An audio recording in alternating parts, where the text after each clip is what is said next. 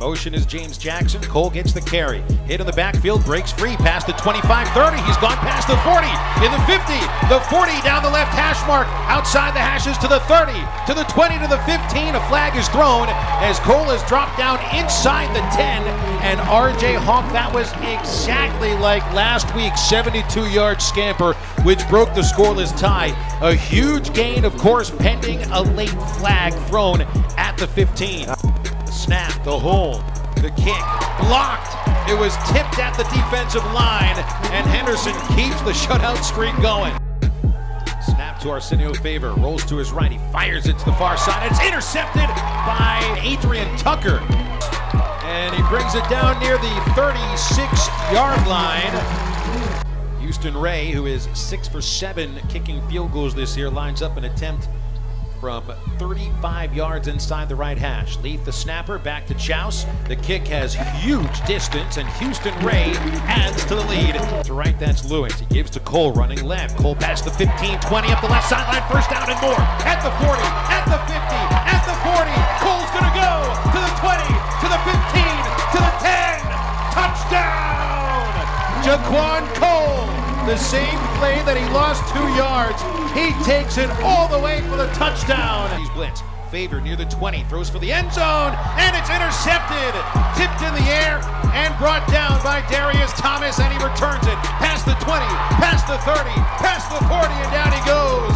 And interception number 14 for the Henderson defense. Dominating performance from your defense today. 12 tackles for loss, two more interceptions to add to that nation-leading 14. Just your thoughts on their play today. Yeah, it was a good game. You know, anytime you can uh, come out and get the win, I was a little disappointed they scored at the end, but they came in and played hard. They just weren't ready for us. They were 4-0 coming in here. They had talked a lot in the press. We were ready for them. 245 rushing yards for Jaquan Cole in the day, a monster performance. Your thoughts on him? Well, Jaquan ran the ball. He had two really big runs that, uh, you know, really changed the complexion of the game.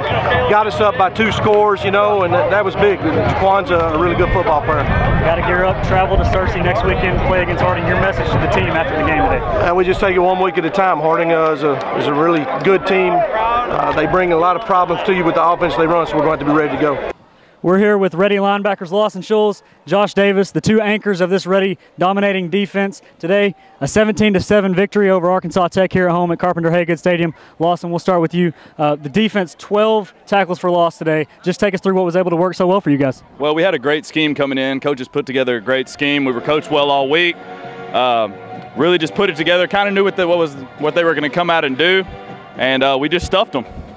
Uh, Josh, now moving to you. Seems like you guys were really able to get a lot of pressure on the quarterback today against Arsenio Favor. Uh, what was able to work so well for you guys on the blitz? We were just running a lot of four-man stunts and letting our uh, will linebacker go free. And sometime I would come off the edge, and our D-line played magnificent. We just had all-around great play.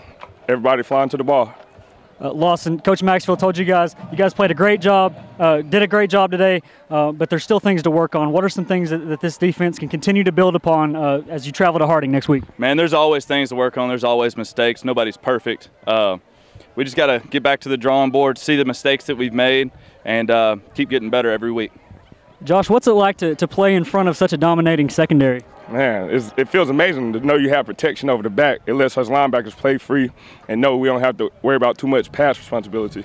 It's really helpful in the run game. Well, guys, congrats. Go enjoy the victory. Once again, that's Josh Davis and Lawson Schulz, and you're watching the Henderson State Sports Network.